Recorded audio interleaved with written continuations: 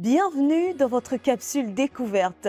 Préparez-vous à être ébloui dans ce voyage captivant à travers la Côte d'Ivoire.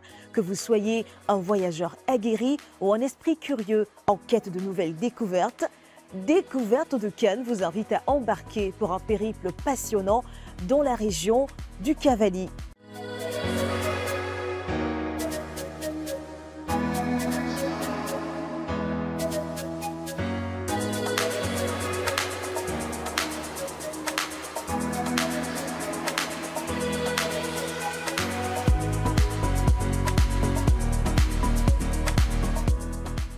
Située à l'ouest de la Côte d'Ivoire, la région du Cavali occupe la zone frontalière avec le Libéria sur peu de 150 km, dont une grande partie est matérialisée par une frontière naturelle, le fleuve Cavali, qui sépare les deux pays.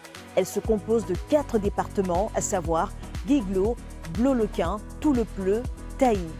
Le climat y est de type tropical, chaud et humide, favorisant une pluviométrie abondante et régulière, donnant une végétation luxuriante propice à l'agriculture. La région est abondamment arrosée par plusieurs cours d'eau, dans le fleuve Cavali et de grandes rivières, Nzo, Doui, Nzé, Nyon et Gouin. Elle présente également d'immenses plaines, de nombreux et larges bas-fonds, des collines et la végétation est de type forestier, dense et humide. La région dispose d'aires protégées, dont les plus importantes sont les suivantes la forêt classée du Gouin des Baies, la forêt classée du Cavali, la forêt classée du Sio, la forêt classée de Santé et le parc national de Taï, qui est la réserve la plus protégée. C'est une région de forte immigration 36% de la population est d'origine étrangère, essentiellement de la sous-région, contre 26% au plan national. Les principales activités économiques exercées sont l'agriculture de rente, l'agriculture vivrière, les cultures maraîchères, la pêche traditionnelle et la pisciculture, la pratique d'élevage traditionnel. La région du Cavali a un riche patrimoine culturel et touristique, avec ses nombreuses aires protégées, ses poissons sacrés, ses montagnes et les festivals de danse des Cuits et Glaï.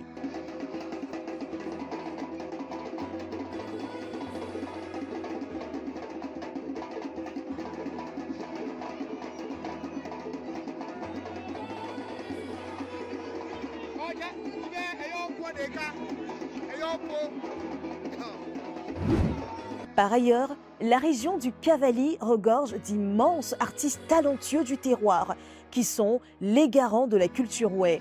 Disons aussi que les artistes originaires de la région, tels que Guy Victor, Guy Jean, Casabi Dé, Paul Dodo, Adélise, Roseba, Rosemary Guiraud, Benelzis Tablé, etc., ont écrit dans l'histoire de la culture de ce pays les plus belles notes de noblesse. Sur le plan culinaire, la gastronomie des peuples de l'ouest de la Côte d'Ivoire, précisément du peuple guéré, est marquée par cette délicieuse sauce faite à base de feuilles de manioc appelée baouin. C'est un mot composé de deux noms, ce sont ba pour désigner manioc et ouin qui est feuille en guéré. Si ce mets culinaire est rattaché à ce groupe ethnique, c'est en partie du fait que dans la zone d'habitation de ce peuple, les montagnes, le manioc est de bonne qualité. Il en est de même pour l'huile rouge, le second ingrédient phare de cette sauce. Le baouin a encore plus de saveur quand il est accompagné du riz local cultivé au village. Alors que nous mettons fin à cette exploration captivante, rappelez-vous que la Côte d'Ivoire est une toile infinie de couleurs, de cultures et de merveilles à découvrir. Alors, emportez avec vous ces souvenirs précieux et ces moments de grâce qui ont illuminé chaque voyage. À très vite!